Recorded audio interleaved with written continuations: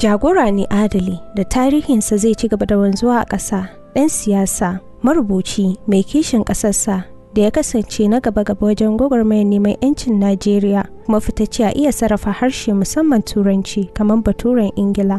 Sa Abubakar Tafawa Balewa, Firayim Ministan farko a shekarar 1960, Ministan Ayyuka a shekarar 1952, kuma Ministan Sufuri a shekarar 1954. Haka kuma jagorar jam'iyyar npc wato northern people congress da ake kira da jam'iyyar mutanen arewa a majalisar wakilai.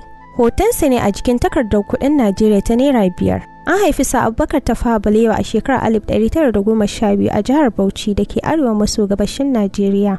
Ya fara karatun allo kamar yadda yake a da a ƙasar hausa.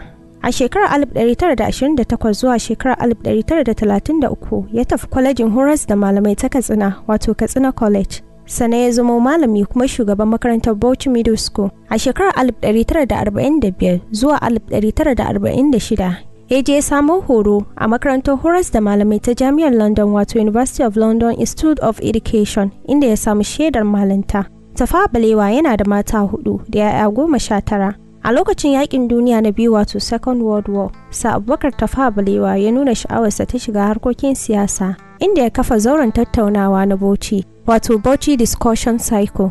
A shekarar 1966 ne wasu sojoji suka yi yunkurin juyin mulki inda ana aka sace sa Abubakar Tafawa Balewa kafin daga bisani a kashe shi. Ya rasu yana da shekaru 53. Kaɗan daga cikin rayuwar marigayi sa Abubakar Tafawa Balewa kenan. Ni ce ta ku har kullum Sadikat Aisha Umar mai malari nake cewa ku huta lafiya kuma da fatan za ku bayyana mun labarin wa kuke so a kawo gaba.